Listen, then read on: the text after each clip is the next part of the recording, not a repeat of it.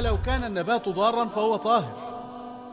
يعني لو افترضنا إن ال- الأكل بتاع هذا ال- ال- النبات يضر هذا لا يعني أنه غير طاهر.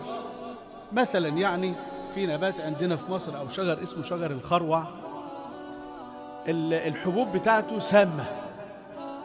يعني اللي يتناول خمس حبايات من النبات دهوت ممكن تموته على طول. هل أوراق هذا النبات أو جذوع هذا النبات نجسة؟ لا هو فقط مضر هل لو أنا حملت في إيدي الحبايات بتاعته اللي هي الحبوب بتاعة الخروع أبقى شايل في إيدي نجاسة؟ برضه لا الأطباء عرفوا أو قدروا يطلعوا من.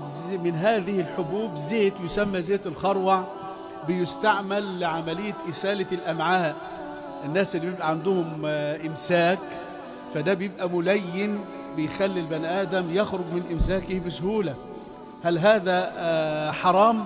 طبعا لا. أما تناوله من أجل أن يتسمم الإنسان أو من أجل أنه طعام هذا هو المضر وهذا هو الحرام ومع هذا يبقى النبات نفسه طاهرا.